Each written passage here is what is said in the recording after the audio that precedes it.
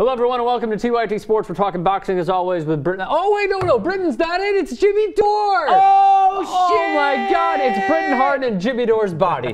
Jimmy, what's going on? I'm ready. We're here to talk about Broner, right? Broner and Maidana, yes. and, uh, and then the and the undercard too. We'll talk about it. But um, uh, We're not trying to waste Jesus Godoy's time, so maybe we'll get to it. Okay, okay. Well, Maybe Thurman, it's a bit. It's an important fight. I think people should, are going to enjoy it. All right, so we'll, we'll get to that in just a moment. Okay. Meanwhile, Adrien Broner is coming off a win in Brooklyn against Paulie Malignaggi. Now, we were split on that, basically. Now, I and- thought it was and obvious that Broner won, but uh, Barely, though. I thought barely. 115, 113 was totally fine with me. Yeah, okay. But that's okay. That's still seven rounds to what? Seven to five. Yeah, seven to five. Yeah, I mean, I you had to give it to Broner because he landed the harder punches, but there were times where he took half of rounds off, maybe Yes, 45 rounds off. seconds at a time, and that's totally unacceptable. I'm not a Broner fan.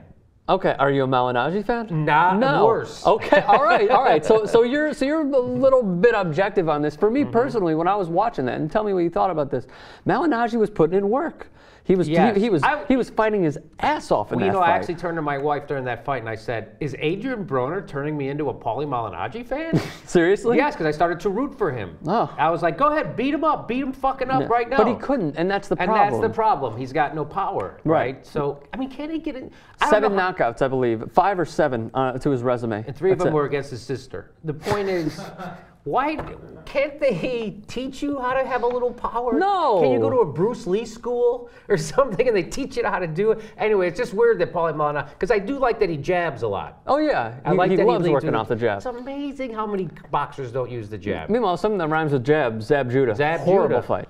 Well, he did, Did. Zab Judah even try? He fucking didn't even show up for that Yeah, he fight. It was the same thing. So uh, I think Paul Malignaggi, people, he brings other fighters down to his level. You really think so? So, well, you explain those two fights back to back, right?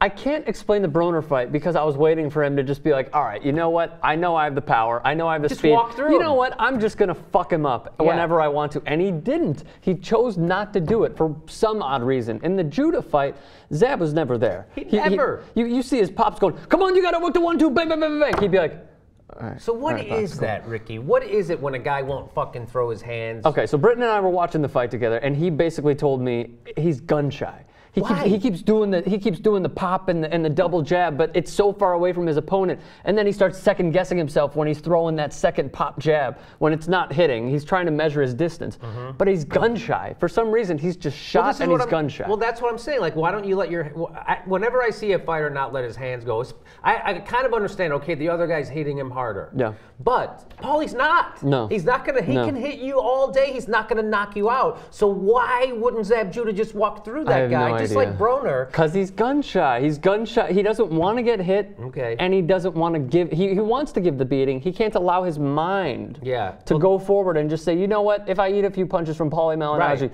sure, I'm still gonna throw. He's no Kirkland. Tell you that way. No, he is certainly no Kirkland. But it no just shows Kirkland. you the game is won up here more of the times than not. Absolutely. No more times than not. Fantastic point. So Broner is 24 years old. He's already won in three weight classes. He's fighting Marcos Maidana. He's talking It- big too. he- oh, He's doesn't he always? big. Well, Doesn't he's, he always? he's, he's like he's going to be the next Mayweather. Yeah, he's basically like, all right, when Mayweather retires, He's not that Good. I got boxing. I'm gonna be cool. Boxing's gonna be fine with me. I mean, let me ask you this. Now, I'm, I, don't give your prediction yet. Don't tip your hat.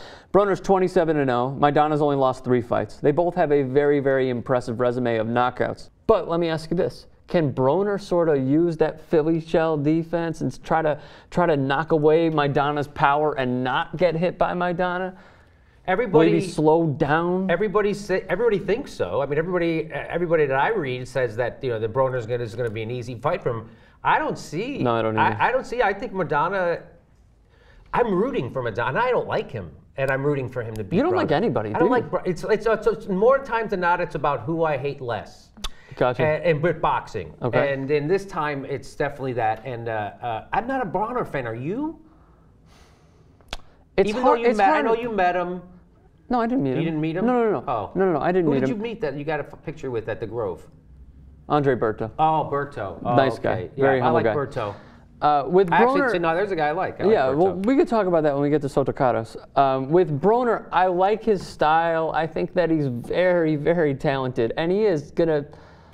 It's weird to say, but he might take over boxing because he might be the biggest name once Pacquiao and Mayweather retire. Because I don't really know who's going to be this impressive and this talented as he is.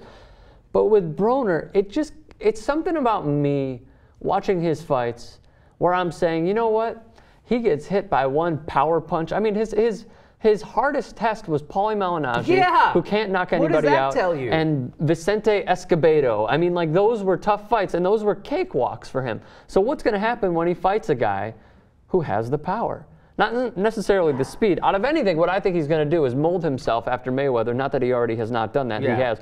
But he's going to sort of stay on the outside. He's going to avoid Try getting hit, get hit. and he's going to counter. Is what I personally think is going to happen. I mean, what do you think? Uh, you know, we'll see. I often think that you know people who try to ape other people's styles doesn't often work, but we'll see what happens. It's working for him, I guess. But like you said, you know, his ta- he I don't think he's been tested correctly. He has and- not, no. And so uh, I think this will be a test. I actually do. I think you know he's got the power in his hand, Maidana. He's got the power. So Doesn't Broner? so let's see. Well, I mean, we'll see. Yeah, we'll see what happens though. Why didn't he fucking knock out Paul? That's the thing. When, whenever a guy fights like that, I just want to see him get put on his ass. I don't know. Maybe it's because the other guy was shit talking just as much as he was. Maybe- when it was the whole girlfriend thing and Oh, Paulie was bagging it. Yeah, I remember it. It was fantastic.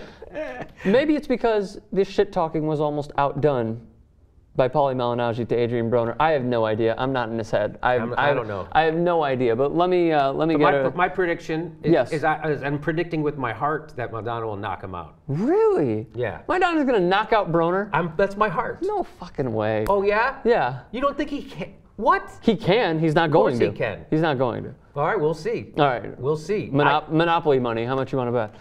I, bet fifty dollars. All right, fine, fifty dollars. That he doesn't knock him out. I say he does. Uh, yeah, okay. Maidana. All right. Mo- Monopoly money, by the way. Janice Okay. Strom. So, okay, very quickly, the undercard. By the I way, just sold a camera that I All found these- there back here, so I have oh, some you- money. Okay, sweet. I didn't, so I don't.